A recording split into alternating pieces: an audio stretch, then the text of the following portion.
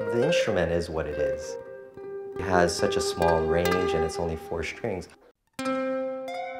I fell in love with the limitations of the instrument because I never saw the limitations as something that would hold me back.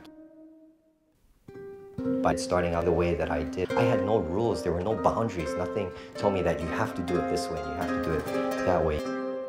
I remember he said to me, he said, Mom, one day I'm going to do so good you don't need work anymore. As being a mother, you can say, oh, that's cute, yeah? But you would never think would come true. He makes people want to believe in him. He has that kind of a magic.